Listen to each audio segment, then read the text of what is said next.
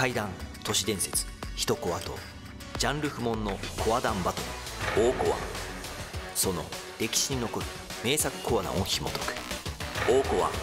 アーカイブ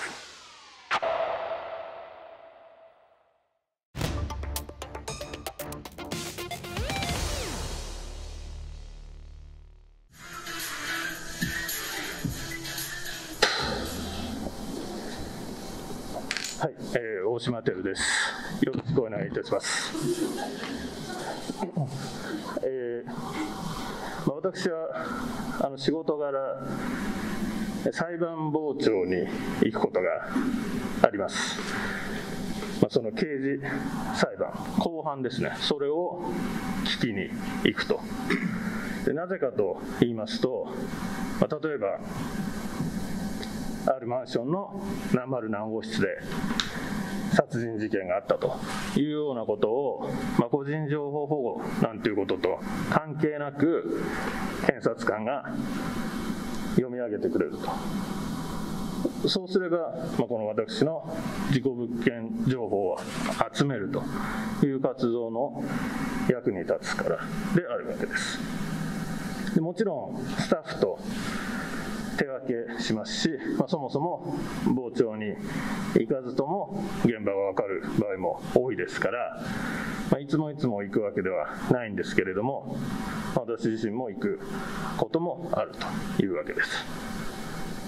言うまでもありませんけれども今はコロナ禍真っ只中あまりこう密な空間には行きたくないわけなんですけれどもやむを得ず、まあ、傍聴行かなきゃなということがありまして、まあ、先日もある事件の、まあ、人が亡くなってる事件の後半を聞きに行きました。でそうするとですね、まあ、当たり前なんですけどみんなマスクしてるんですよ。裁判官も検察官も弁護士も。記者を含む我々傍聴人も。そこまではいいんですけれども、ま、被告人裁かれる人自身も顔を隠してるわけです。で以前だったらそんな顔見られたくないから勘弁してなんていうのはこう通用しなかったんですけども、まあ、こういう事態なんでマスクをしたまま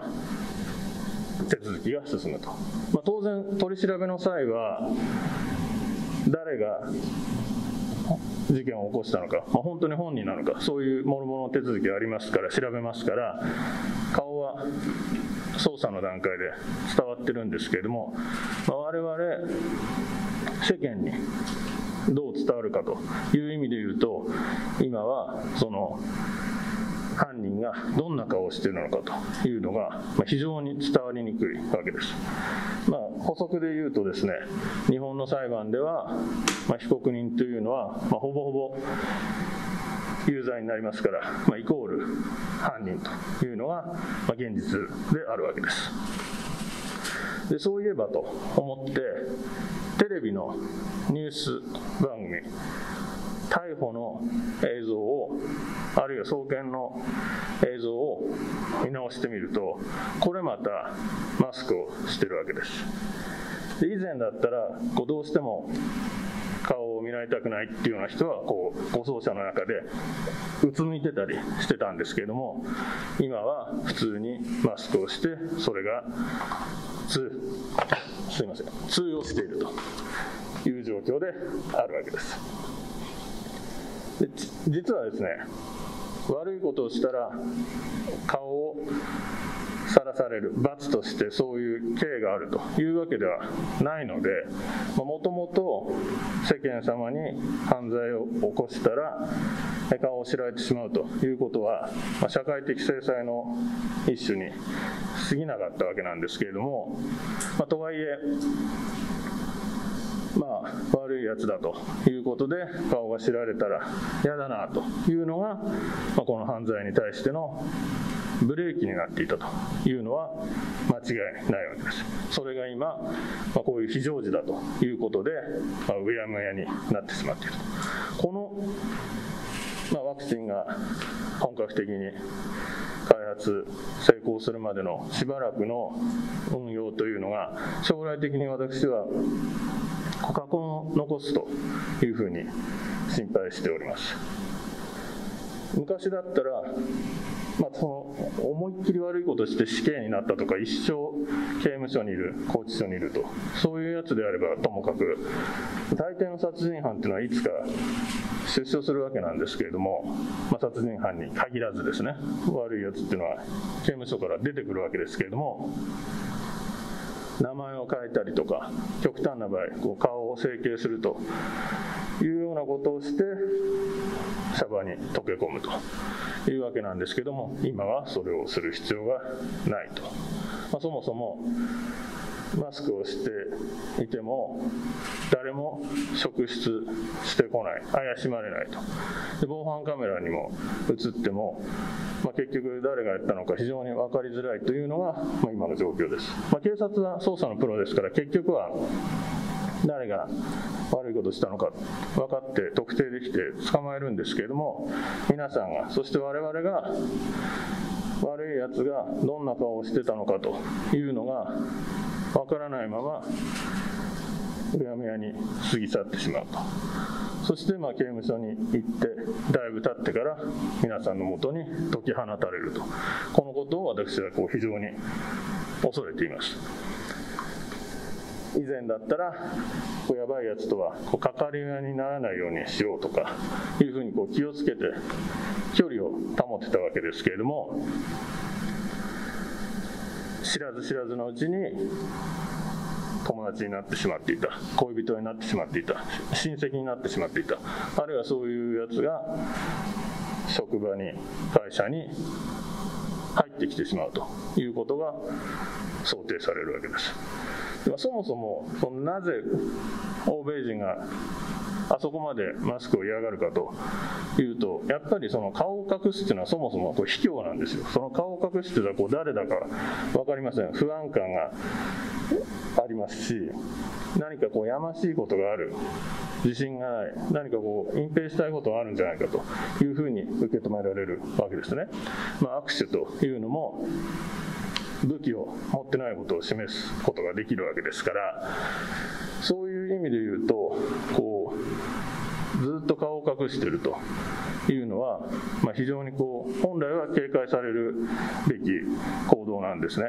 今でも実はコンビニにオートバイなんかのこうフルフェイスのヘルメットをしたまま入ると外してくれと言われます。それでいて何もしないで入るとマスクしてくれと言われてしまう、まあ、非常にこう微妙なラインなんですけれども繰り返しますけれども大抵の犯罪者っていうのは結局は刑務所から出てくるわけですからその時に名前で検索する、あるいはこの顔に見覚えがあるというような形で、あ、この人とこの人、イコールだな、ちょっと付き合うのやめとこうっていうのが今後は、この数年間に悪いことをやった連中に対しては、その手法が聞きづらくなるというわけです。先日もこうひき逃げを起こした俳優が謝ってましたけどもああいうふうに顔を出して謝罪するっていうのは非常にこうレアケースです。インスタとかに自撮りの画像をアップしたというようなことがなければ例えば昔の中学の卒業アルバムというようなものぐらいしか世の中に出回らないと。そんなものを今更見せられてもですね結局犯人の犯罪者の今の顔がどんなものかわからないままになってしまうというわけです。そういう連中が必ずもう一度犯罪者になるということは断言できませんけれども、まあ、再犯するやつっていうのはいるわけです。それが皆さんに危害を及ぼすと。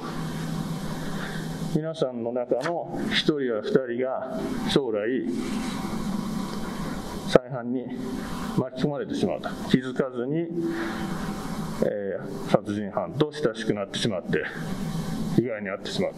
というようなことが、まあ、容易に想像できると。まあ、非常にこう私としては、まあ、ご愁傷様としか言いようがない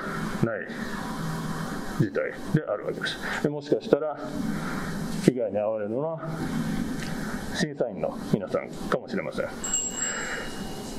非常にこう惜しい人を亡くしました。合唱という日が来ないことを願っているんですけれども、まあ、お時間ですので私の話は以上とさせていただきます。ありがとうございます。